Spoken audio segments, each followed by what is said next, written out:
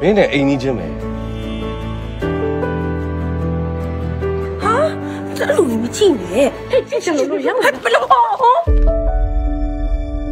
အဲ့ကောင်မလေးကလေးမဟုတ်တော့ဘူးမင်းကိုကြိုက်နေတာအာမင်းကလည်းမဟုတ်တာကွာဒီလူငါလို့ဘယ်တော့မင်းဆက်ပေးမအောင် Nope တမင်လောက်တာမလားညီမမင်းချက်ပင်းဆိုဟဲ့ချာလေးလေဒါမင်းတို့ကြက်တော့လားကြည့်ဒီရရေးသားတင်နေရှိလဲ16ယောက်အာ အဲ့ဒါတော့လူကြီးရွက်ရဖြစ်သွားပြီငယ်သူမငယ်သူအာမင်းနဲ့တဲ့ရှိ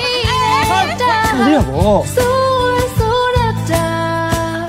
မာလေးမာရတာဘဝမှာလေပြုပြင်ပြောင်းလဲလို့မရတဲ့အရာတွေဆိုတာရှိတယ်ကိုဘဝကိုကိုအကောင်းဆုံးဖြစ်အောင်ကြိုးစားနေထိုင်ရမယ်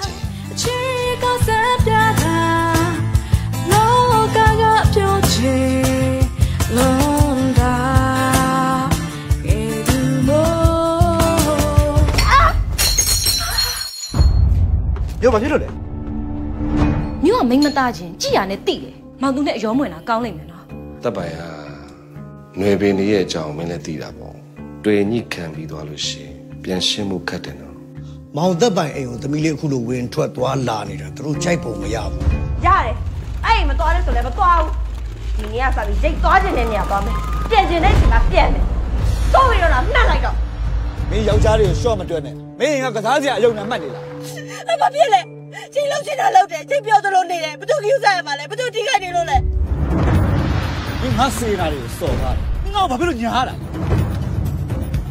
ဘသူကညားတာလဲလက်ကားပါလက်အုပ်မျက်နှာချမင်းကွာဟိုပြေတော့မပါနဲ့ပါစမ်းပါမင်းချစ်တယ်ဆိုတာဘာလဲမင်းချစ်ကကိုငါ့ကိုဘာကောင်းကျိုးများပေးခဲ့လို့လဲ